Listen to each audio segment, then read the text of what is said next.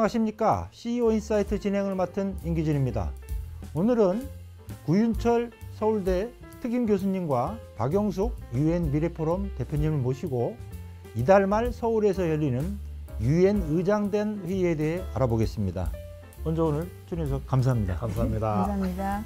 이달 말 서울에서 열리는 유엔 의장단 회의의 주요 의제와 목표가 뭔지 좀 설명 부탁드리겠습니다. 예, 제가 먼저 말씀드릴까요, 박 교수님? 어, 이번 그 유엔 총회 의장단 전 현직 의장단을 포함한 의장단입니다. 어, 회의가 10월 29일, 30일 양일간 이제 서울에서 열리게 됩니다. 그리고 주요 의제로는 어, 첫째는 최근에 이슈가 되는 미들리스트의 그 평화 또 전쟁에 대한 우려에 대한 이 유엔 총회 의장단의 어떤 토의가 있을 것 같고요. 두 번째는 그 지금 우크라이나나 그리고 러시아 전쟁과 관련해서 어 또 전직 유엔 총회 의장단들이 이 사태에 대해서 어떻게 또 view를 가지는지 또 견해를 가지는 데 대해서 논의가 있을 것 같습니다. 그리고 진짜 중요한 것 중에 하나가 과거 그 유엔 총회 의장단 회의에서는 cyber security 그래가지고 사이버 안보에 대해서 논의를 했었는데요. 이번에는 저희들이 그 한승수 총리께 말씀을 드려가지고 어, 이번에는 AI, AI에 대해서 좀 발제도 하고 논의를 하는 그런 세션을 마련했다는 측면에서 이번 서울 의장단 회의가 굉장히 이슈가 있다고 보여집니다. 어, 그래서 아마 30일 오후에는 의장단 총회에서 그 전체 회의 결과 문서를 채택하고 어, 폐식을 함에 따라서 특징이라면은 그 AI에 관해서 어, AI 가버넌스? 가버넌스에 관해서 예, 예. 논의가 되는 측면이 있습니다. 특별 네네.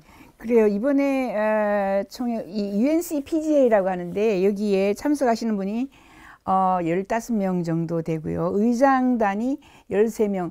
가장 크게 많은 사람이 참여하는 그런 어, 대회고요. 지금 현재 유엔 총회 의장이신 어, 닥터 양이 필레몬 양도 오시고 여기에 이제 제롬 글렌이 초청이 되었습니다. 이 제롬 글렌은 한 4년간 어, 이제 유엔에서 거버넌스를 해야 된다. 누가 거버넌스를 하겠는가?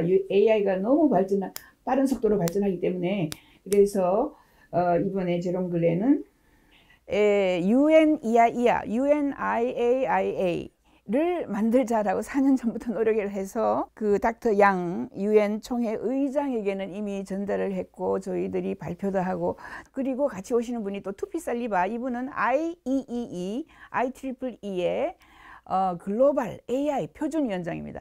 AI에도 표준을 만들어야 돼. 카피라이트를 줘야 돼. 뭐 이런 이야기를 하시는 분이 오십니다. 알겠습니다. 이번 그 회의에서 이 한국이 어, 어떤 역할을 맡고 있고 또 회의 개최지, 개최지로서 어, 한국이 갖는 의미는 무엇인지요? 예, 뭐 그런 측면에서는 지금 한성수 제 56차 유엔 총회 의장을 역임하셨습니다. 아마 이 제가 기억하기로는 2001년도로 기억이 되는데요. 지금부터 거의 23년 전에 하셨습니다. 그래서 어 의장 초청으로 이제 한국에서 어 의장단 회의를 개최하게 되는 그런 의미가 있고요. 그래서 한국이 어 이번 기회에 그 가장 그 처음으로 그 유엔에서도 이슈가 되는 AI에 대해서 어, 이슈를 그 끌어낸다는 측면에서는 제가 봤을 때는 굉장히 의미가 있고 또 앞으로 향후에 AI에 있어서 한국이 또 주도적 역할을 해나갈 수 있는 그런 모멘텀을 마련하는 계기가 되지 않을까. 우리가 잘 어, 이걸 이용 활용을 한다면은 그런 측면에서는 어, 한국의 역할 또 한국에서 개최되는 의미가 굉장히 크지 않나 이렇게 저는 보고 있습니다. 그렇죠. 왜냐하면 저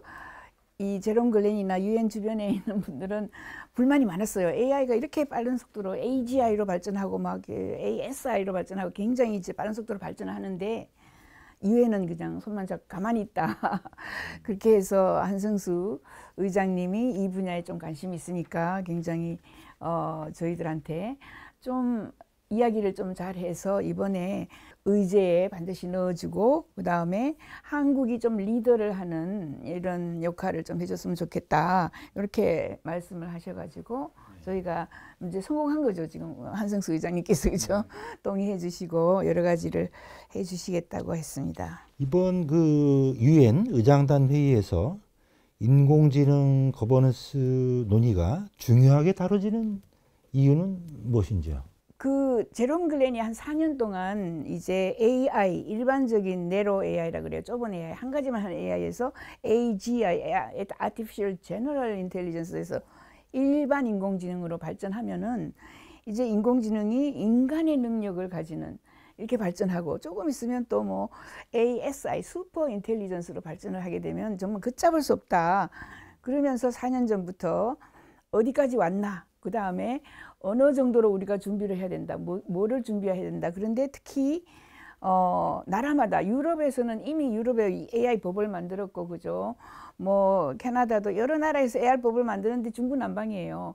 그것을 한 군데에서 가버넌스를 해야 된다라고 주장하는 게 유엔이 될 수밖에 없다. 이런 주장을 했고 보고서를 벌써 1차, 2차, 3차까지 썼거든요. 그래서 어, 인공지능의 거버넌스를 의장단에서 좀 강력하게 좀 주장을 해서 이제는 유엔도 신경을 써야 된다. 이렇게 좀 이야기를 한 겁니다. 예, 제가 조금 부연 설명드리면은요. 사실 지금 이제 AI가 빠른 속도로 진전되는데도 불구하고 어, 이 이슈가 개별 국가별로 이렇게 논의가 되다 보니까 공통된 가이드라인이나 기준이 없는 상황입니다. 그래서 유엔이 어, 나서서 개별 국가별로 해가지고는 전체적 컨트롤이 안 되기 때문에 나서야 된다는 그런 또 의미가 있고요. 두 번째 왜 나서야 되느냐 이렇게 봤을 때는 이 AI의 미래가 어, 착한 AI, good AI라 그러는데 착한 AI만 있으면은 무슨 문제가 되겠습니까? 근데 앞으로는 어, 인간들이 이 그 AI를 아주 능력이 뛰어난 AI를 잘못 활용하는 경우죠. bad AI라 그러는데 bad AI가 만약에 창궐을 한다 하는 경우 사실은 이게 인류의 어떤 어, 행복을 위해서 오는 게 아니고 인류의 재앙이 될 수 있다. 아, 그런 측면에서 제작 단계부터 이 나쁜 AI가 이 세상에 태어나지 않게 하고 그리고 모든 AI, 특히 이제 무빙하는 AI, 움직이는 AI에 대해서는 유엔 차원에서 어떻게 어떻게 등록을 하도록 해서 이런 AI가 어느 지역에서 어떤 역할을 하고 얼마나 숫자가 많은 건지 사람의 그 동태를 파악하듯이 하는 이런 가이드라인, 그런 규제, 규제도 필요합니다. 그리고 이 AI가 활동하는 뭐 지적재산권이라든지 이런 부분에 대해서 가이드라인을 만들어야지만 인간이 만든 창작물과 AI가 만든 창작물 간의 이 차별화도 됩니다. 이런 움직임이 유엔 내에서 활발하게 일어나지는 않기 때문에 저희들이 이번 유엔 총회 의장 회의에서 좀 제기함으로 인해서 앞으로 유엔에서 이런 내용을 어, 적극적으로 수용을 해서 어, 유엔 차원의 범 국가적인 거버넌스 마련을 좀 할 수 있는 측면에서 우리 사장님 말씀하신 것처럼 굉장히 중요하다 이렇게 저희들은 보고 있습니다. AI가 이 글로벌 측면에서 가지는 중요성은 진짜 그 최근에 노벨 물리학상 그리고 노벨 화학상을 받은 데서 그 웅변을 하고 있는 거죠. 한번 따져보십시오. 지금 요번에 받은 노벨 물리학상이나 노벨 화학상의 AI 전문가들은 물리학을 전공한 분도 아니고 화학을 전공한 분도 아닙니다. 그렇지만은 AI를 활용해서 물리학의 연구에 획기적인 그 속도 단축, 기간 단축을 할 수 있게 했고, 그러면 노벨 화학상 같은 경우도 그 모델을 AI가 해가지고 진짜 이게 기간도 하고 성과도 어마어마하게 낼 수 있는 이런 식으로 지금 세상이 달라지고 있는 거죠. 그래서 어, 이런 AI가 우리 생활 곳곳에 지금 들어오고 있습니다.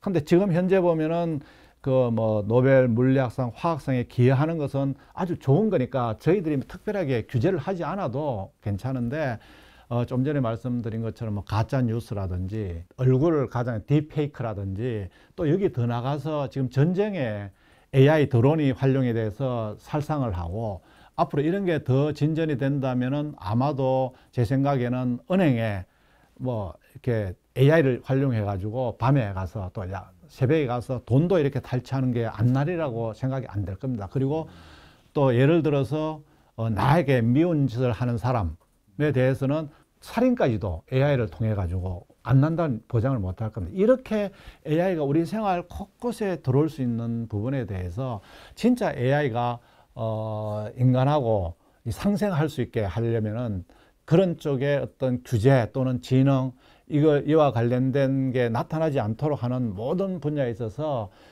진짜 늦었다. 저는 지금 늦었다. 지금이라도 하루 빨리 유엔 차원에서 가이드라인도 만들고 또 유엔 차원에서 진흥할 부분 진흥을 하고 규제도 하고 그 다음에 각 나라별로 유엔의 가이드라인을 받아가지고 세부 가이드라인을 만들었어. 각 나라별로 어 사람들이 주민등록을 해가지고 지역별로 다 파악하듯이 AI가 어느 소재에서 어떤 역할을 하고 얘가 어떤 짓을 하고 있는지를 다 파악할 수 있는 이런 시스템을 빨리 만들어야 하는 측면에서는 뭐 아무리 저희들이 이 이것의 중요성을 얘기해도 어, 빠르지 않다. 저는 이렇게 생각하고 있습니다. 아무래도 그 유엔 IAIA인가요? 예. 그래서 어 뭐 처음 듣는 시청자분들도 많을 것 같은데 예. 조금 설명 부탁드리겠습니다. 예, 그 UN 이아이아 IAIA 이 아이디어 또는 이 말 문구를 제롬 글렌 어, 밀레니엄 프로젝트 회장이 어, 4년 전부터 이런 게 UN 기구가 필요하다. 그리고 이런 아이디어를 처음에 낸 사람은 또 어, 샘 알트만, 오픈 AI 샘 알트만이 IAEA 같은 게 있는데 그것은 1957년에 만들었는데 그죠? 그거 비슷한 거 하나 필요하다 유엔에서 그렇게 해서 IAEA가 나왔고요. 그 EIA 역할은 일단은 글로벌 표준 아까 장관님 말씀하실 때 글로벌 표준이 있어야 되지 않겠습니까? 이런 나라는 이렇게 하고 저런 나라는 저렇게 어, 규제를 하거나 뭔가를 제재를 가한다면 안 되니까 유엔에서 글로벌 표준을 개발하고 윤리적인 AI를 어떻게 만들어야 되고 그 다음에는 이제 국제 협력이 촉진이 돼야 되겠죠. 그렇지 않으면 뭐 그 중구난방이 되니까 그렇게 하기 위해서는 기술 지원이 정말 중요합니다. 앞으로 어 사람 같은 그렇게 똑똑한 인공지능이 나왔을 때는 정말 어느 식으로 우리가 어떤 제재, 어떤 형태로 어, 해야 되는지 그런 것을 전부 이제 연구를 해서 만족할 수 있도록 그죠 전 세계의 시민들이 만족할 수 있도록 할 수 있는 이런 연구를 많이 하자라고 생각합니다. 그 IAEA 국제 원자력 기구는 뭐 북핵 문제로 많이 이제 듣고 해서 시청자분들이 익숙하실 것 같은데 IAI 이아이아라고 하셨는데 예. 이 IAEA와 예. 아, 유사점 또 차이점 뭐 설명 부탁드리겠습니다. 아무래도 그럼 이아이아에 대한 예. 그 시청자분들이 이해도가 좀 더 쉬울 것 같아서 예. 예.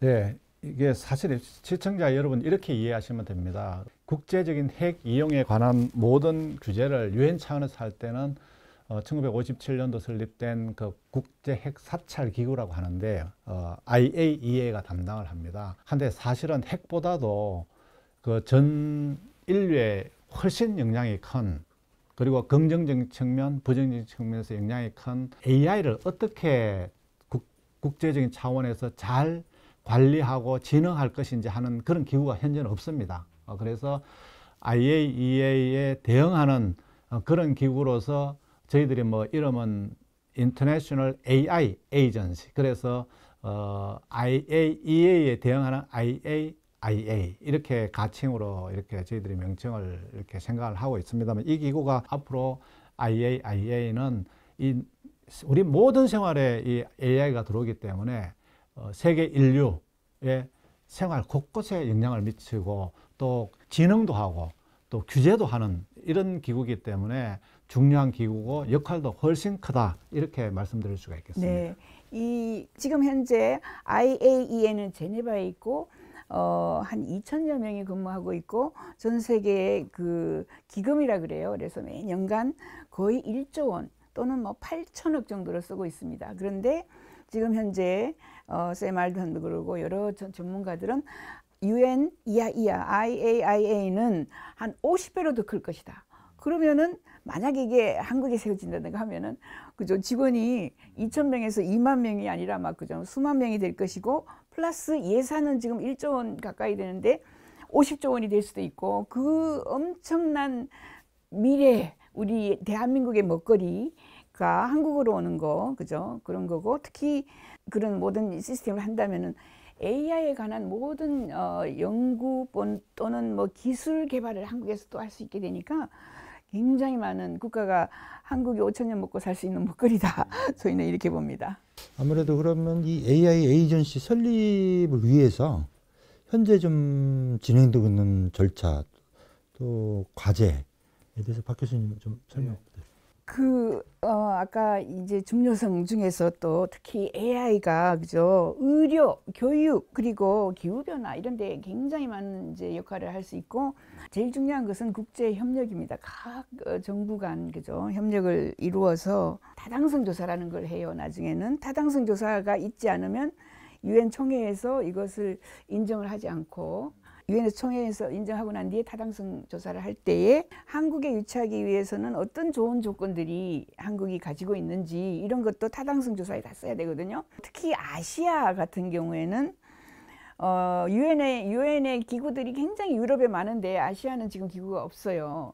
어, 지금 아시아가 이제 rising star라 그러지 않습니까? 인구가 제일 많고 경제 인구도 가장 많고 생산성도 가장 높고 뭐 이런 이런 상황에서 이제는 AI에 대한 기구 이게 마지막 기구일 것 같아요. 유엔에서 마지막 기구는 아시아로 가져야 된다. 처음에 저희가 이렇게 얘기하다가 아시아 이야기가 나오면 너무 많은 아시아 인, 국가들이 달려들 것 같아서 아예 처음부터 헤드쿼터스를 한국으로 해뿌리면 어떨까 이렇게 저희 장관님하고 의논들을 해서 어, 조사를 했더니 한국이 어, 굉장히 그죠 그래도 중립적이고 어, IT 쫙 알려 있고 거기에 AI 어, 연구 연구진들이 굉장히 많습니다. 다른 나라에 비해 중동에 비해서 굉장히 많고 이런 것들이 있어서 지금 저희는 그런 쪽으로 굉장히 어, 이유가 있다 한국에서 음, 할 수 있다 이렇게 이야기하고 있습니다. 예, 한국이 그 가능한 이유가 저는 여러 가지가 많다고 봅니다. 첫째는 지금 유엔의 그 유엔 본부가 지금 사본부까지 있는데 주로 아프리카, 유럽 뭐 그다음에 저 미주 대륙 이렇게만 있고 아시아에는 사실상 없습니다. 그러면은 이제 아시아에 올 수 있는 찬스가 하나 있다. 그러면은 아시아에 왔을 때 어느 나라로 갈 것이냐?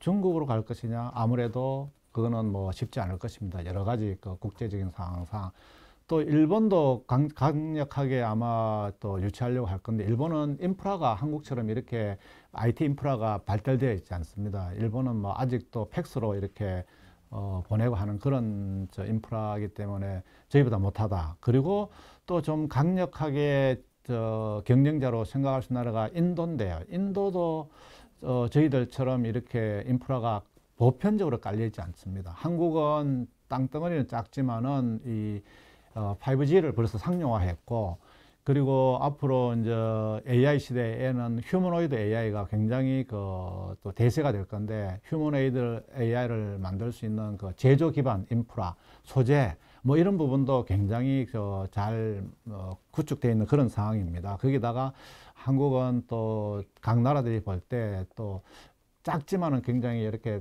또 컴피탄한 국가니까 어, 그런 측면에서는 한국에 대해서 충분히 그 중요성이 있다고 보여지고요. 아마 타당성 조사할 때도 이런 한국의 강점이 골고루 검토가 될 거라고 봅니다. 그래서 저희들이 미리 어, 그런 준비를 한다면은 저는 충분히 가능하다 이렇게 생각을 하고 있습니다. 그러니까 현실적으로 현재 뭐 어느 단계까지 좀 이게 진행되고 있는지 그리고 어떤 좀 과제들이 있는지 우리가 이제 설립하고 유치하려면 그래서 지금 논의 단계인 건가요? 그렇죠. 예, 지금 논의 단계이면서 야카이라고 저희가 이미 만들었어요. 앞으로 2026년만 어, 되어도 콘텐츠, 지구상의, 지구상의 콘텐츠가 96%가 AI가 쓴다고 합니다. AI가 요즘에 다 뭐 기사도 써주고 하잖아요. 그렇게 되면은 지금까지는 인간이 쓴 것만, 인간이 창조한 것만 카피라이트를 줬는데 지적재산권을 줬는데 이제 AI가 쓰는 것도 주자해서 저희가 이미 이아카이라는 거를 만들어서 과기정통부에서 허락을 받았어요. 거기에 어, AI 개발을 정부나 뭐 여러 군데서 지원을 많이 한다. 문화적, 사회적으로 호환이 잘 된다. 뭐 이런 이 아이템을 다 집어넣어서 저희가 거의 100장 정도의 어, 이미 타당성 조사 가본을 그죠 썼고 제롬 글렌 같은 경우에는 왜 유엔 이하 이하가 필요한지 필요성에 대해서 그리고 마지막에 쓴 거는 한 한 달 전에 3편을 썼는데 거기는 만약에 유엔 이하이하가 없다면 어떤 절망적인 상황이 오는가 핵전쟁이 일어나서 정말 다 죽을 것이다 이런 식으로. 그리고 유엔이아이아가 설립이 되고 나면은 어떤 점이 인류에게 도움이 되는지 여기까지 다 정리해서 보고서가 서너 편이 나왔고요. 한국이 가장 그 AI 그 관련 규제를 하는 그 유엔 본부를 유치하기에 굉장히 어 인프라가 잘 돼 있고 준비가 가장 잘 돼 있다는 그런 측면을 좀 강조하면은 저는 뭐 충분히 한국의 가능성이 높다고 보여지고 있습니다. 그리고 그 지적재산권 기구를 그걸 한국에서 지금 시작을 했으니까 또 기타 AI 관련 그 규제 기구라든지 지능 기구도 한국에 충분히 어, 유치할 수 있다 이런 자신감을 가지고 있습니다. 그래서 잘 설득을 하고 이러면은 뭐 유엔에서도 또 합리적인 의사 결정을 하지 않을까 저는 그렇게 보고 있습니다. 그 구장관님 그 유엔 그 AI 에이전시 지금 뭐 조직 구조라든가 운영 방안 뭐 이런 거는 아직 아직은 네. 아직은 나오지는 않았는데 네. 어, 저희들이 이제 좀 대충 생각하기는 어, 이하 이하를 만약에 하게 되면은 여기는 어떤 AI의 어떤 기술 개발하는 분야, 그 다음에 AI를 활용하는 측면에서 지능하는 분야, 그 다음에 AI를 또 규제하는 분야, 그리고 네 번째는 우리 박 교수님하고 상의하는 것 중에서 이 역사적인 히스토리를 좀 이렇게 우리가 한국에서 이렇게 많은 준비를 하고 이런 부분도 좀 강화를 해서 한국적인 특색도 좀 넣고 또 만약에 여기 유엔 애 본부를 만약에 한국에 유치한다면은 진짜 이제 한국이 실질적으로 AI 쪽에는 기여할 수 있는 그런 한국의 어떤 기여 분야 이런 부분까지 다 합쳐져야지만 아마 될 것 같고요. 예, 그래서 유엔이아의 구조를 저희가 일단 타당성 조사에서는 IAEA처럼 그냥 구조 그죠. 왜냐하면 여러 구조 바꿔버리면은 각 나라에서 승인하기가 골치 아프고 그죠. 막 그저 걱정하니까 총회 만들고 그죠. 유엔 예, IAEA는 총회 있고요, 이사회 있고요, 사무국 있고 그죠. 또 저희가 보면 AI 안전 보안부 예, security, AI 시큐리티면 제일 지금 걱정을 하니까 그거 반드시 집어넣어야 된다. 윤리 AI 본부 집어넣어야 되고 국제 협력이 너무나 중요합니다. 이렇게 오픈 AI, 구글, 애플, 아마존 전부 지멋대로 나가면 안 되니까 그 사람들을 잘 이렇게 조화롭게 그죠 끌어와서 우리하고 같이 협력하자라고 이야기를 해야 되고 에, 기술 지원이 정말 중요합니다. 저 기술 지원은 우리나라에서 지금 AI 하시는 분들은 정말 관심을 가지고 봐야 되는 게 우리가 이제 예산을 이렇게 만약에 이제 올해 설립이 되어서 예산을 따게 되면은 요 홈피에 들어와서 네 이름 치고 뭐 네가 개발한 걸 딱 올리면 짜라락 허가가 나게 라이선싱 라이선스를 줄 수 있게 만들어주는 요런 그 시스템을 하기 위해서는 전부 이제 개발을 해야 됩니다. 여러 가지 지금 하고 그다음에 연구개발부 뭐 이런 식으로 부처를 여러 개를 만들어서 한국에서 AI를 공부하시는 분들이 굉장히 그죠 이 미래의 희망이 있게 좀 할 수 있는 그죠 그런 생각을 하고 있습니다. 한국에 유치한다면 뭐 서울일 텐데요. 그 네. 본부 입지 네, 암만 해도 이거 굉장히 큰 기구인데 네. 정부도 좀 나서야 되고 정치권 또 대기업 뭐 해서 좀 범 국가적으로 노력을 해야 될 것 같습니다. 그래서 그런 부분에 대해서도 좀 그 저희 언론도 같이 노력을 해야 될 것 같은데 그런 부분 좀 설명 부탁드리겠습니다. 예, 사실은 지금 제가 예측하기로는 만약에 UN AI 관련 기구를 이제 대한 한국에다가 이제 유치를 한다면은요, 이거는 한국의 어떤 미래 어, 다시 한 5천 년의 새로운 또 먹거리 또 새로운 신화를 쓸 수 있는 그런 찬스라고 저는 생각하고요. 다만 이렇게 하기 위해서는 저 한국 내부적으로 똘똘 뭉쳐야 됩니다. 정치권뿐만이 아니고 그 다음에 정부 그리고 민간 또 그리고 언론 국민들이 똘똘 뭉쳐가지고 한국에 오도록 최대한 본 자기 분야에서 자기가 할 수 있는 최선의 노력을 다하고 이번에 UNCPGA 어젠다도 사실은 저희들이 한성 총님 찾아가서 AI 해야 됩니다. 이렇게 저희들이 제안을 해서 한 총님께서 좋다 하면 보자 이렇게 해서 그 유엔에다가 어젠다로 넣었고 또 유엔 본부에서도 어 이게 AI가 어젠다로 올라오는구나 이렇게 인식을 하고 그까지 저희들이 지금 만들고 있는 게 다 우리 한국입니다. 한국이요. 그래서 저희들이 이제 역사위원회 만들어서 이런 레코드를 다 어, 관리하려고 이러기 때문에 어, 충분히 저는 가능하다, 할 수 있다 이렇게 생각하기 때문에 앞으로 어, 특히 이제 정부의 강력한 지원이 있어야 됩니다. 유엔 본부를 한국에 유치하려면은 청사도 줘야 되고, 뭐 거기에 대해서 일정 부분 초기 설립 비용은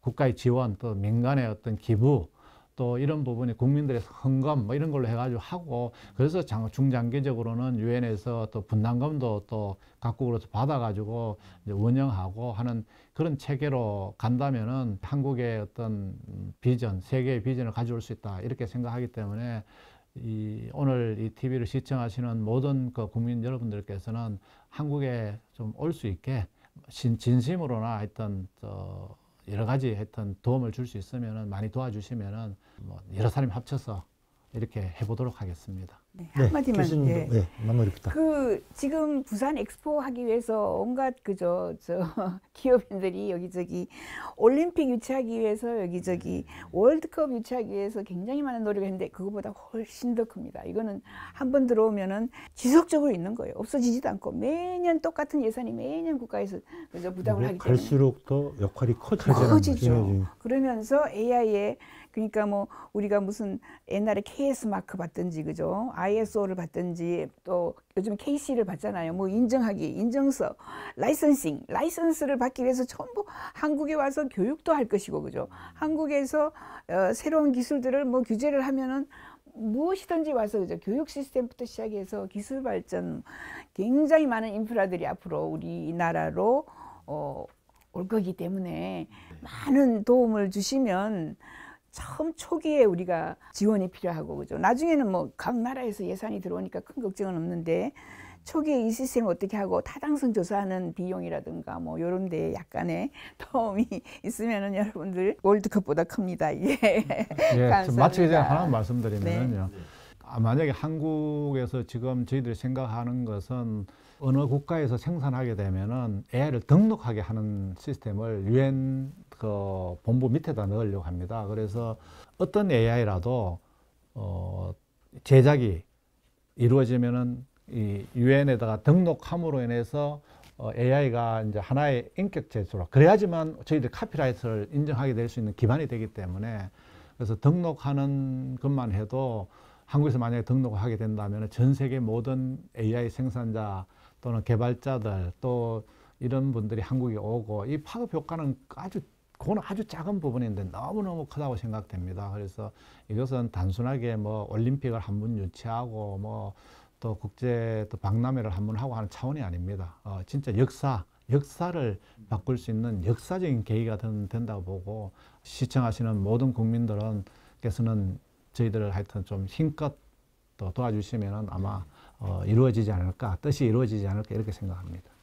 그 제롬 글렌 박사님 얘기가 계속 나오는데요. 어, 제롬 글렌 박사님 좀 소개 좀 부탁드립니다. 공학 분야 이렇게 전공하신 분인가요?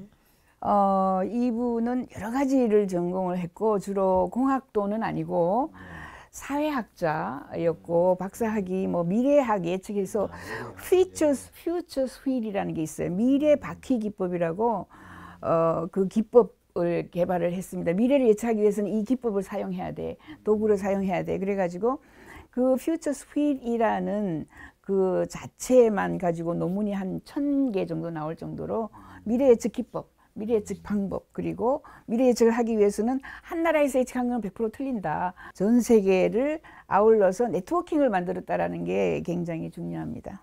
그리고 뭐 또 중요한 이번에 오시는 분 중에 투피 살리바 박사님 또 어, 굉장히 좀 우리가 좀 눈여겨 봐야 될 분인 것 같은데요. 예, 투피 살리바는 어, 그 사람은 AI 전문가이고 블록체인 전문가고 블록체인의 기반 이론을 만들어냈다. 그 private이라는 게 있는데 거기에서 뭐 블록체인 개, 개발을 해가지고 그것을 뭐 구글, 애플, 아마존에 팔았어요. 거기에서 굉장히 돈을 많이 벌었습니다.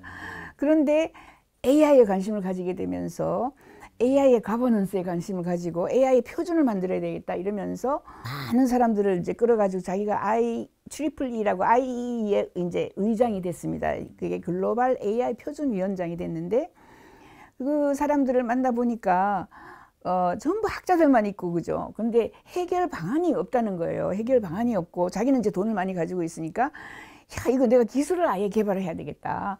AI가 AGI로 더 빠른 속도로 늘어나고 발전하는데 그것을 가버넌스를 하거나 규제를 하거나 뭔가를 하려고 하면은 반드시 기술이 있어야 된다. 그, 그 기술에 들어가서 사람들이 그 기술만 쓰면 된다.